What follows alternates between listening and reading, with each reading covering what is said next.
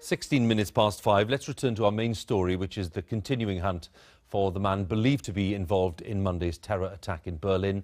German investigators say the fingerprints of the Tunisian suspect, Anis Amri, have been found in the lorry, on the door of the lorry used to kill uh, 12 people uh, at the Christmas market.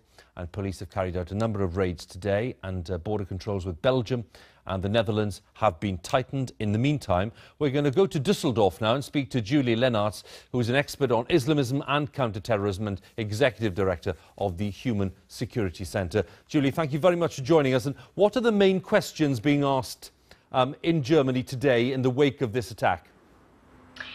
Well, I think most people want to know what type of measures the government is thinking to take now to prevent um, such attacks from taking place in the future. Um, we, I mean, this year we've seen a lot of police uh, patrolling Christmas markets and the Christmas celebrations in the country anyway, and obviously after what happened um, on Tuesday, um, um, authorities have decided to reinforce um, police presence on the streets. I also expect we'll see more uh, new surveillance measures. In Germany, we don't have nearly as many CCTV cameras as we have in the UK. Um, but I want to stress one very important point, and that is this.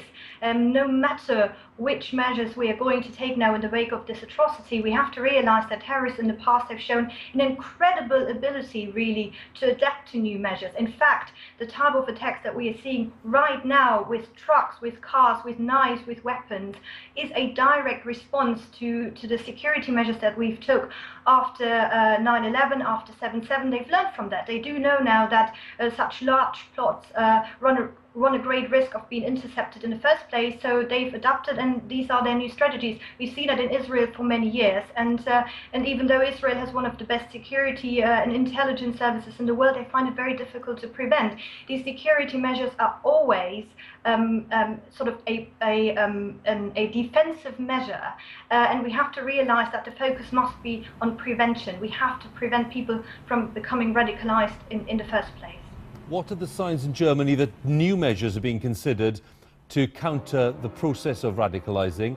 Um, obviously, among um, groups uh, that, that we would associate with, with uh, radical beliefs, but clearly people coming in who maybe are not integrated in a way that some people would like. Are, are those the main areas? Yes, I think that the, the, sort of the short-term uh, measures that are now being taken is to just reinforce security on the street, you know, reassure people that uh, the government and the security services are in control. But long-term, of course, we have to think uh, in, in, in context and we, we have to think about what we can do to prevent these attacks from taking place. Um, and, and we'll see we'll see more debate uh, how exactly we're going to do that over the next couple of days. I think one thing that Germany will need to reflect on is um, on the way how they've been taking in large numbers of people. Um, many people here feel like the problem is not so much that Germany has taken people in, that uh, you know Germany has.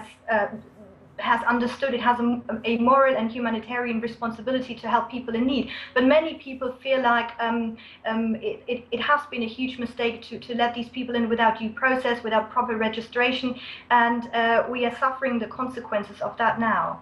Just a final thought, uh, Julie, if I may. When the Chancellor, uh, Angela Merkel, was commending people for their calm response following the, the dreadful uh, uh attack on Monday, now, what is your sense of people's response? And is there a sense of it, another change of attitude towards the Chancellor herself?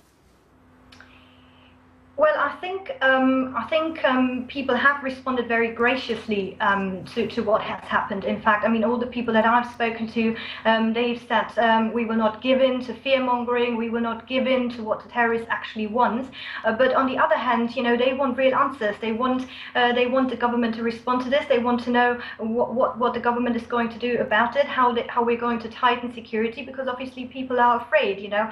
Um, and Angela Merkel is under a lot of pressure pressure, um, not just from the general public, but also from her own um, party, her own uh, uh, government coalition. And I think if she doesn't find the right answers to these very legitimate concerns and very legitimate questions, then this will probably translate into the next year when she's fighting uh, for her um, for her chancellorship, and, and it could haunt her very badly.